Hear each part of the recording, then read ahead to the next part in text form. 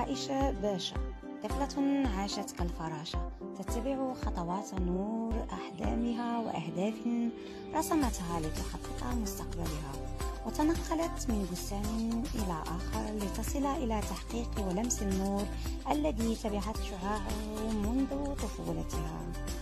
وهذه الفراشة اليوم عائشة سيدة المجتمع بل أيقونة في مجالات متعددة المجالات الثقافية والاجتماعية والسياسية وأخرى حيث شاركت ونالت شهادات دولية وما زالت هذه الفراشة في طريقها وأحلامها تزدهر بالأفكار والعطاء هي السيدة المهاجرة المغربية الأصل عائشة باشا.